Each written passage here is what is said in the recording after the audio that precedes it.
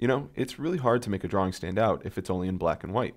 We can change the color of fills and strokes by using these two, fill style and stroke style. We can call fill style on the canvas context, and in this case, we're going to set it to blue. You can use a named color. Uh, there are 140 named colors according to the HTML specification, and you can learn more about them in the instructor notes. Or you could use a hexadecimal color. So in this case, we're setting the stroke style color to 33CC33, and we're calling it on the canvas. Hopefully these two should add some color to our drawing over here. Let's find out. I will save it. I will come over here and hit refresh. And we see that in fact the fill actually did become blue. Our triangle is now blue, which is pretty cool. But it looks like stroke style here didn't have an effect. This hexadecimal color should be a shade of green, but we don't see any green over here.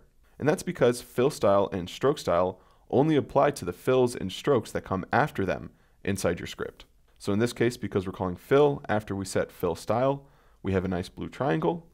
But because we drew our stroke rectangle well before we set the stroke style, it didn't get affected. Let's go ahead and change that. So now we set the stroke style to this color before we draw the rectangle, and we should see green rectangle instead. So let's save our script, come over to the browser and hit refresh, and now the rectangle has a nice light green outline.